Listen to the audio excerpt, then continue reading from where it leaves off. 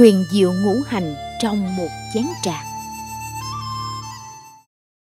Trời, có ngũ hành kim mộc, thủy hỏa thổ.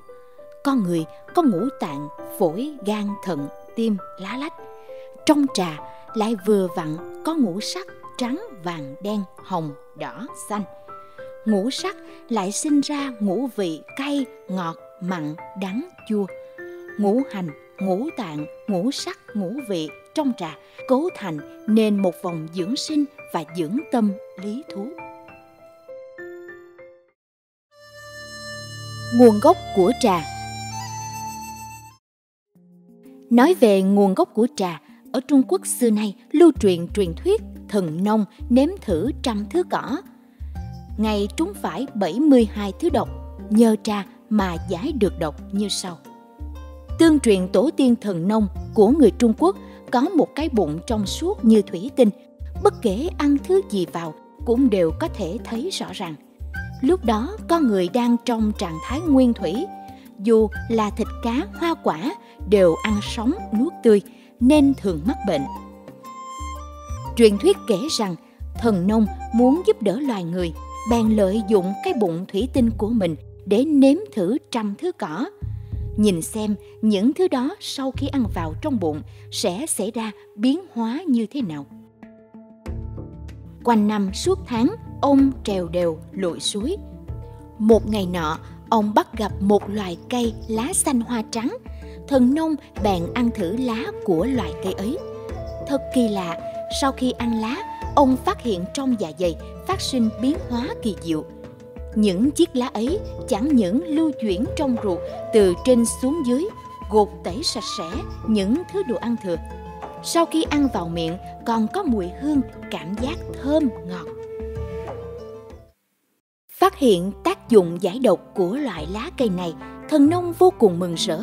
Ông cho rằng việc mình phát hiện ra loài cây ấy là do thần tiên cảm động, niệm tình ông tuổi già tâm thiện, khổ công hái thuốc chữa bệnh cho con người nên ban tặng ông lá ngọc ấy để cứu giúp chúng sinh.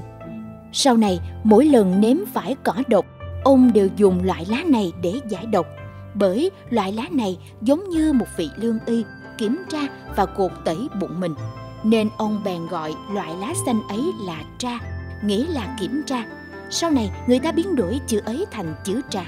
Đó chính là nguồn gốc của trà đến thời đường, lục vũ được xưng tôn là trà thánh. Cả đời chỉ xoay quanh trà, tinh thông trà đạo, để lại cho hậu thế cuốn trà kinh nổi tiếng, chuyên ghi chép về trà.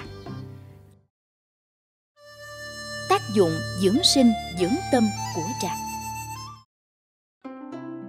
Trà có thể dưỡng sinh và dưỡng tâm. Điều này được ghi chép rất chi tiết tỉ mỉ trong các sách về trà và các sách y dược thời cổ đại. Trong cực trà dưỡng sinh ký, ca ngợi rằng, trà quý thay, trên thông với cảnh giới thần linh, dưới có thể cứu giúp người khi bị độc.